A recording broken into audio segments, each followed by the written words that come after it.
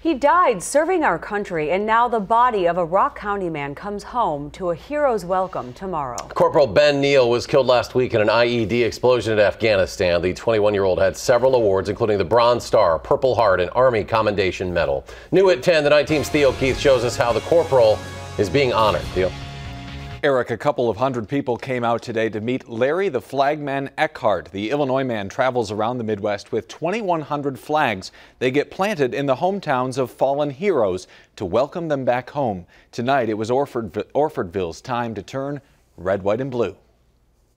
I cannot thank you enough for coming out. This is the Flagman. I do not discuss the war. All I care about is our heroes, which are fallen, but this kind of reminds you why they are fallen. And these are his flags. We're going to line every place in town he's going to travel. We're going to have to divide you up into groups. The first 15 minutes of this thing is going to be utter chaos. This is how his mission gets carried out. We are lining the road for this young man's travel back home to his family. Now, if we can get another truck backed up here, Okay, we're going to send you guys down to the American Legion. What brings you out today? My daughter went to school with him. I have a son in the military who's done a couple of tours overseas, and it's very close to my heart. I guess it's a welcome home. It's a thank you.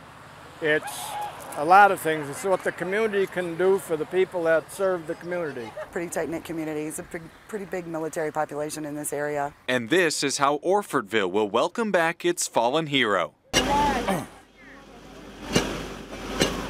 here we go. Only in America do we, this is what we live for right here. There you go. Good job. Corporal Neal is obviously a hero. There's no doubt about that.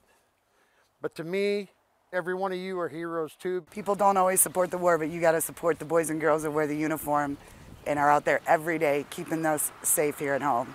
If he could see it, uh, he'd feel real good. There's no way we're going to bring him back, so uh, we can certainly welcome them back, though. And 2,100 flags there in Orfordville. Neal's body will return straight through them tomorrow morning. A motorcade will lead him into town from Janesville's airport just after 9 a.m. Wow, what a moving gesture from the folks of Orfordville. Theo, and this is really, this is just the, the first show of support here, right? It really is, Eric. There will be a public visitation Monday at Parkview High School in town and then his funeral is set for Tuesday. Our thoughts and prayers with those folks down there in Orfordville and his family, especially. Theo, thanks.